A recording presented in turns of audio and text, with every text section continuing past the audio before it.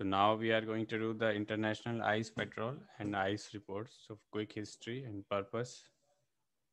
Uh, the shipping areas in North Atlantic uh, have been dangerous.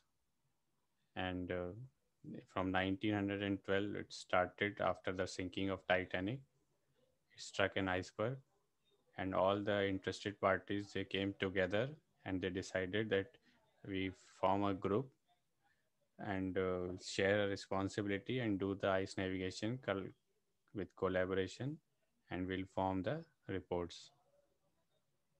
So just uh, to find and locate the iceberg what are the limits?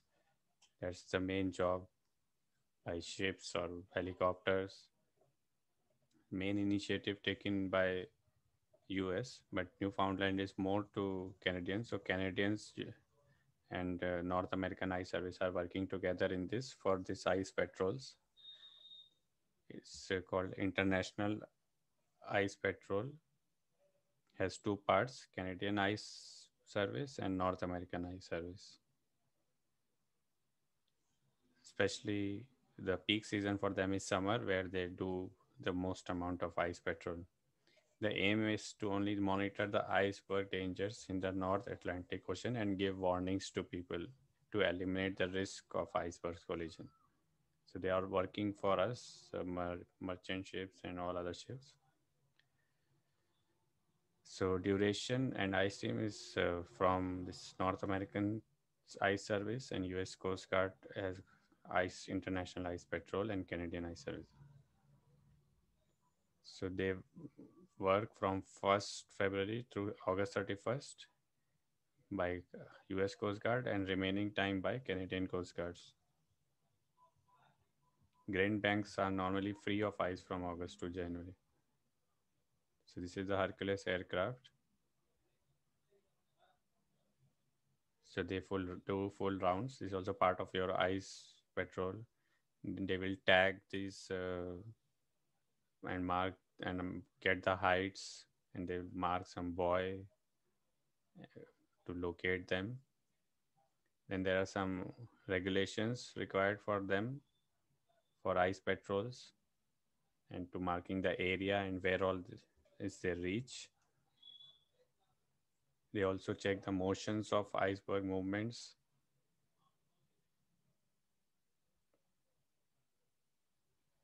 the coast guard vessels also can do this. Com- commercial vessels are also includes like voluntary based observation ships. But uh, why only grand banks is also grand banks is the main shipping route and location where you have this iceberg dangers it's a major shipping route.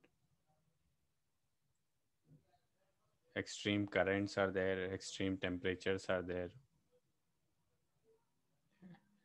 and lot of icebergs very fertile and rich minerals uh, environmentally protection area is there very sensitive can get damaged very easily. A lot of fishing traffic lot of offshore traffic and sailing vessels. So very congested traffic area and lot of dangers also and very extreme temperatures and also very poor visibility, fog, and all.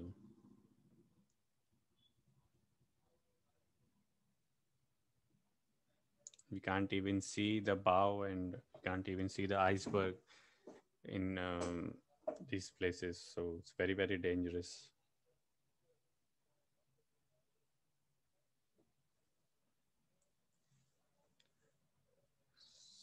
So because of so much problems this canadian and us they came together and they start making these surveys and reports. And then it was uh, under solas also and all solas uh, parties like states ratifying parties are also paying for that. It's like weather routing is giving you the warnings but you have to take all the precautions and you are responsible.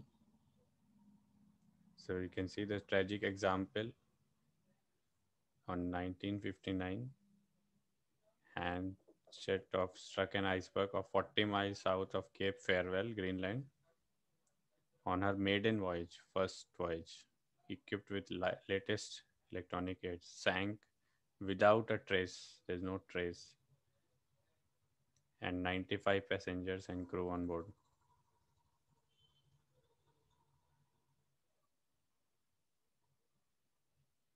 Nobody survived, no trace of the ship. So that's a danger of your icebergs. So on ice class vessels, we have some enhanced X-band radars, so special radars for this class and vessels. Then how the data is given to us. So there are different models of making the ice charts and datas. And this is where uh, your prediction and understanding comes. So there are different types of current on which these charts are made. Uh, from the current rows. Vector mean currents are used to feed in these uh, models for tracking the icebergs drift.